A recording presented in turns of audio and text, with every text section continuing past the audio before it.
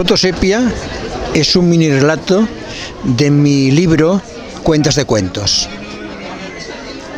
Aquella foto consiguió captar la inocencia de un rostro enamorado y demasiado joven para saber que nada es eterno.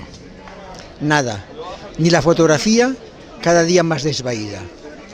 Los colores perdían viveza y una niebla sepia empezaba a difuminar los rasgos que él intentaba recordar nítidos.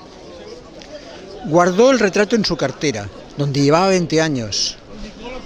Habían recorrido juntos la ruptura con ella, un matrimonio poco ilusionante, un divorcio conflictivo y unas cuantas amantes de circunstancias. Mientras crecía en su interior el deseo de recuperarla, como crece todo lo que no se tiene y se dejó perder cuando se es demasiado joven para comprender el significado de la palabra pérdida. Días atrás, olvidada ya toda esperanza de localizarla, una red social le sorprendió. Tecleó su nombre y apellido y apareció ese mismo rostro juvenil. Ahora se dirigía a una cita a ciegas con el pasado, o no sabía con qué presente. La reconoció al instante estaba igual que en la foto original. No entendía nada. ¿Cómo se puede detener el tiempo? balbuceó.